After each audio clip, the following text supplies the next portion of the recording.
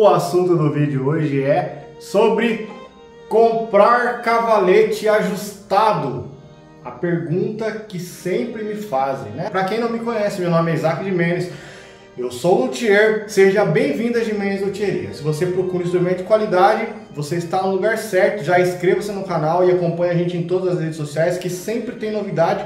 Uma hora um violino vai ser do seu gosto e também vai caber no seu bolso. E esse vídeo vai ser enviado para você com muito carinho, com todos os acessórios, tá bom? Mas a pergunta que sempre me fazem quanto, a, quanto ao ajuste. Isaac, tem como você me vender um cavalete ajustado? Eu já falei em outros vídeos sobre esse assunto e vou repetir novamente aqui nesse vídeo. Não existe a possibilidade de se vender um cavalete ajustado, tá bom? Porque cada violino tem a sua digital. O ajuste é feito no violino. Então, se você quer um cavalete extremamente ajustado para o seu instrumento, não tem como eu enviar para você um cavalete ajustado.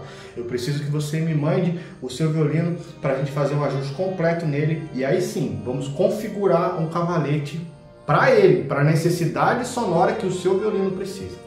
Gostou dessa dica? Já sabia? Se não sabia, comenta. Se você sabia, comenta também. Compartilha esse vídeo com seu amigo violinista. E ó, uma dica para você, dica de música de luthier. Invista no seu instrumento, independente do nível do seu instrumento. Pelo amor de Deus, invista no seu instrumento, faça um ajuste, coloque a corda, coloque o cavalete de qualidade. Você vai ter mais prazer em tocar, vai melhorar o seu estudo, vai adiantar muito a velocidade aí que você está conseguindo aprender o seu instrumento, você vai ficar muito contente, tá? Então faça isso, uma dica valiosa. Ah, mas eu não tenho condição de investir agora, pessoal.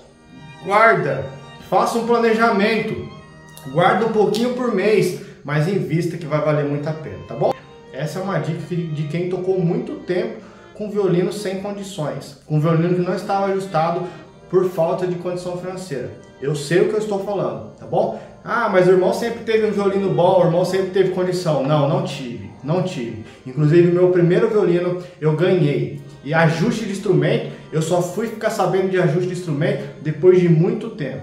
Então, eu não tive condição. Mas se você planejar, se você correr atrás, se você trabalhar, se você guardar um pouquinho por mês, você vai ter condição de investir no seu instrumento, você vai fazer o ajuste e vai por mim, vai valer muito a pena. Gostou dessa dica? Era para ser uma só, acabou que foi mais de uma. Um grande abraço, até o próximo vídeo.